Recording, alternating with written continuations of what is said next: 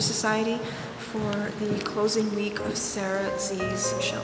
To me, this is so much about like um, how images get made in a way, and sort of like it really maybe because I have printed color, it, I, I think about color printing and I, I think about those things, but also just how all these colors are making up a pattern which if you print a lot of color you see this a lot in your printer really kind of about this um, finding poetics or finding inspiration finding um, finding meaning in how images get physically made Right. for this specific piece to me is about that Okay. this piece is just like the piece that's at the High Line right now, which is um, they are birdhouses.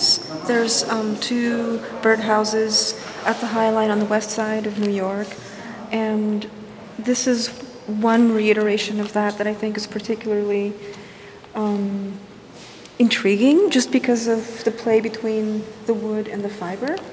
She didn't try to hide or create an experience that would shield us from how this is created. And I, I really, Right. really like that. I'm trying to do that in my work. When I see this, I get, I get really kind of excited. I agree with you on that. There, there is no artifice in how she made something happen.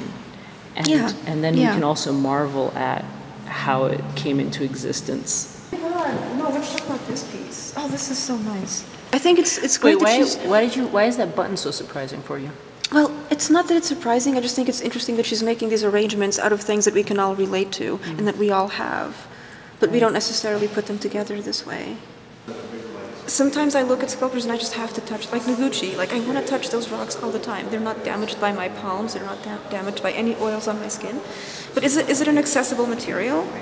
Not really. They're kind of heavy. They're kind of big. They're beautiful, but it's Right. not a material that I come into contact with often. I, I go to the place to marvel at it, to sort of like have some kind of emotional affair with this material, right? When I look at sculpture. Right. I do that. But with these things, they're all so accessible. I mean, we all have these little things, and I think that makes a big statement about how how she wants her art to be perceived. it's her work is predominantly about space, right? And it's defining. She's like threading space, like she's defining space almost like a seamstress, an architectural seamstress.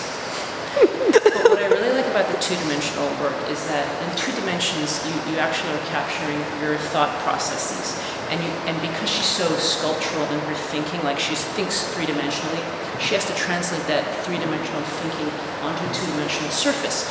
And so she's taking our Western notion of perspective, right, which mm-hmm. is all of those converging lines of to vanishing points to tell us we're going back into deep space.